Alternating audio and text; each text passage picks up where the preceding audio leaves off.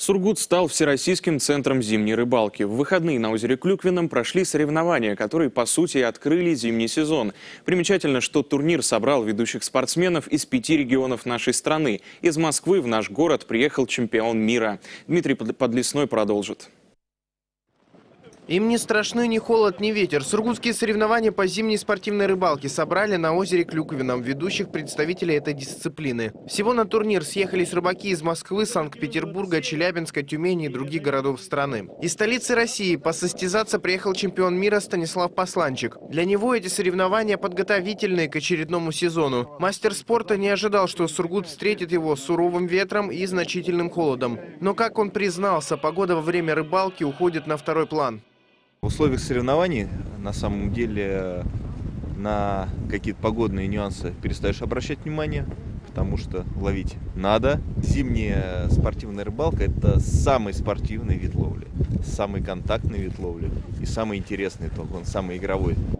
Вообще, в последние годы Югра в целом и Сургут в частности по праву выходят на первые роли Всероссийской Федерации рыболовного спорта. Статусность внутренних соревнований является залогом того, что уже в ближайшем будущем наш город может стать точкой проведения международного турнира. Состязания в таких экстремальных условиях могут привнести дополнительную интригу. Знаете, спортсмены – это такая братья, которая ничего не боится им совершенно все равно, где выступать. Вот где сказали, там и будет.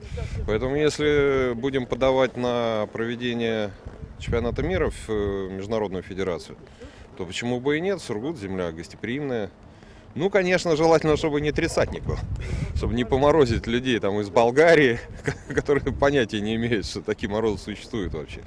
Встреча на Сургутском озере рыболовов, спортсменов из пяти регионов – событие по праву знаковое. В чемпионате Югры второй год подряд участвуют чемпионы мира. Все это позволяет задуматься о том, что именно спортивная рыбалка может стать новым брендом нашего округа.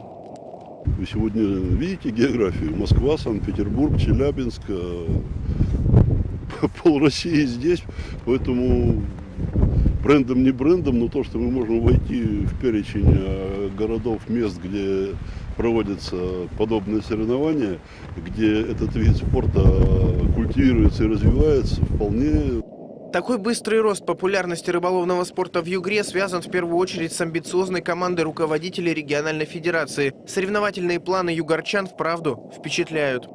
Я планирую, что на наши следующие соревнования мы соберем больше представителей региона, э, других городов и больше будет чемпионов мира. Конечно, в этот раз хотелось бы увидеть, э, так скажем, в спортивном, на спортивном сленге, это говорится, заруба двух чемпионов.